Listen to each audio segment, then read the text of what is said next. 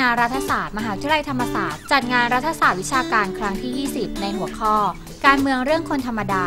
ซึ่งภายในงานมีการแข่งขันมากมาย รวมไปถึงการบรรยายพิเศษอีกด้วย เราไปดูภาพบรรยากาศภายในงานกันเลยค่ะ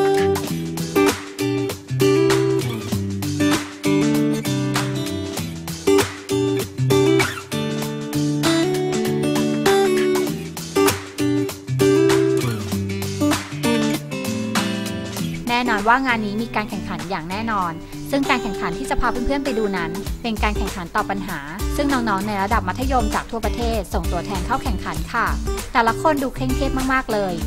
เปลี่ยนความเครียดเป็นความสนุกสนาน แถมมีสาระกับการแข่งขันโต้วาทีกันดีกว่าค่ะ ลูกพญามีโอกาสมากกว่าการศึกษานะครับ คุณศึกษาเฉยๆแต่คุณเป็นลูกชาวบ้าน คุณไม่มีโอกาสหรอกครับ ยกเว้นแต่คุณเป็นลูกพญาเท่านั้น คุณจะมีโอกาสที่จะทำงานที่ดีกว่า มีโอกาสที่จะทำงานที่สูงกว่า มีความใกล้ชิดสนิทสนมกับงานที่ดีกว่า และมีความประสบความสำเร็จมากกว่าครับป .4 ลูกพญายังไงก็ดีกว่าปริญญาชาวบ้านอยู่แล้วครับ จุดยืนของฝ่ายค้านของเราคือ ระบบอุปถัมภ์ทำลายสังคมไทยค่ะ อย่างที่ฝ่ายเสนอนะคะ ได้กล่าวว่าระบบอุปถัมภ์เป็นส่วนหนึ่งของระระบบประชาธิปไตยใช่ไหมคะ แต่ระบบอุปถัมภ์ที่แฝงอยู่ในระบบประชาธิปไตยนั้น คุณคิดว่าดีแล้วหรอคะ ดิฉันคิดว่ามันคือเนื้อร้ายที่แฝงตัวอยู่ในร่างกายที่เรียกว่าประชาธิปไตยค่ะ ในเมื่อคนสั่งกับคนตัดสินความคือคนคนเดียวกัน แล้วกฎหมายจะมีไว้เพื่ออะไรคะคนสามารถตัดสินอะไรได้ตัดเต็มที่ตามความต้องการของเรา เพราะฉะนั้นระบบอุปถัมภ์นี่แหละค่ะ คือจุดที่จะทำลายสังคมไทยค่ะเป็นยังไงกันบ้างคะสำหรับการโต้วาทีของทั้งสองมหาวิทยาลัยนี้ ถือว่าสุดยอดมาก ๆ เลยค่ะ เราไปฟังความคิดเห็นจากคณะกรรมการกันดีกว่าค่ะ ขอขออนุญาตพูดถึงฝ่ายค้านก่อนแล้วกันนะครับผมชื่นชมนะครับวรรณศิลป์ดีนะครับบุคลิกบุคลิกภาพดีนะครับแล้วก็มีหลักฐานอ้างอิงนะครับในการที่ช่วยสนับสนุนข้อโต้แย้งของท่านนะครับท่านหัวหน้าฝ่ายเสนอนะครับนำเสนอได้ดีนะครับมีประเด็นนะครับในการนำเสนอเอ่อทั้งสองฝ่ายเนี่ยผมคิดว่ามีปัญหาเหมือนกันก็คือยังไม่ได้ยกตัวอย่างที่เป็นรูปธรรมเท่าไหร่นักนะครับคือมันมันพูดได้อะนะฮะเยอะแยะเลย นะครับไม่ว่าจะเป็นกรณีของคุณภาพของการศึกษาเนี่ยถ้าคุณจะเถียงว่าเฮ้ยป .4 มันน้อยปริญญาอะไรคุณก็อาจจะหยิบเรื่องของคุณภาพของการศึกษาเนี่ยมาเป็นตัวตั้งตัวตีได้นะฮะคือไม่ได้ไม่จำเป็นจะต้องไปพูดถึงเรื่องเส้นสายอย่างเดียวใครก็ตามที่จะผ่านเข้ารอบไปนะครับ ก็ขอให้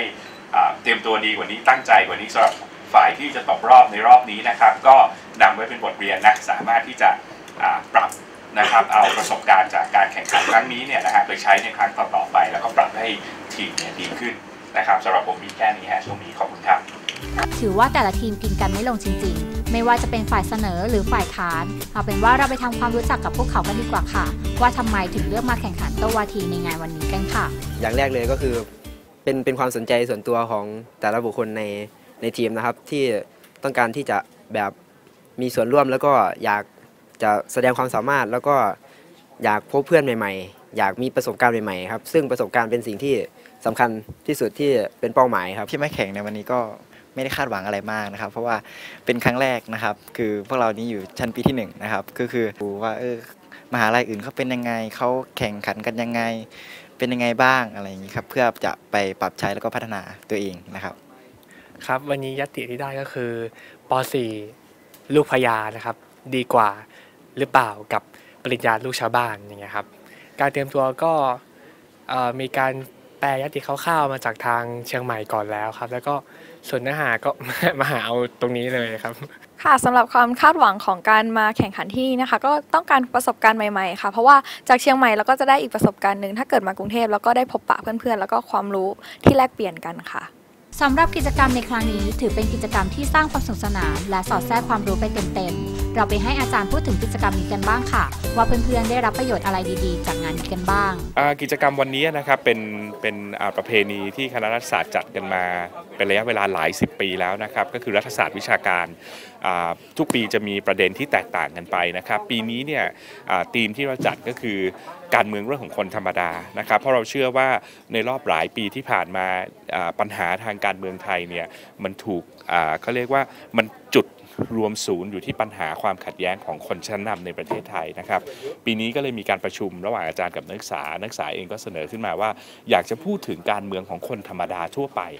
นะครับว่าคนทั่วไปเนี่ยนะฮะเห็นการเมืองเป็นยังไง คนทั่วไปเนี่ยมีชีวิตความเป็นอยู่ในสังคมนี้ยังไงนะครับเพราะฉะนั้นพอแต่เราจะทำยังไง พอเขาเข้ามาเรียนแล้วเนี่ยจะทำให้เขาสามารถที่จะตั้งคำถามที่มันทันต่อการเปลี่ยนแปลงของสังคมนะฮะคือเราไม่ได้เรียนถึงแค่ทฤษฎีอย่างเดียว แต่อยากให้เขามีโอกาสที่จะร่วมกิจกรรมและได้คิดถึงประเด็นที่เขาเจออยู่ทุกวัน นอกเหนือจากการนั่งฟังในห้องอย่างเดียวตอนนี้นักศึกษาก็จะได้เข้ามามีส่วนร่วมแล้วก็คิดนะครับช่วยกันคิดและโดยและการโต้วาทีเนี่ยก็จะช่วย ให้นักศึกษาเนี่ยสามารถที่จะคิดกับประเด็นเหล่านี้เนี่ยได้อย่างลึกซึ้งแม้จะมีเวลาเตรียมแค่คนละ 10 นาทีนะฮะแต่อย่างน้อยเขาก็คิด